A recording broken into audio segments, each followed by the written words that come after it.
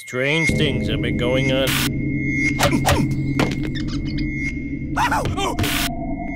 Hey, Marge. Oh, like what you see, huh? What's the safe word? I'd like to try something new. The Simpsons, a brand new season starts 13th November at 8 p.m.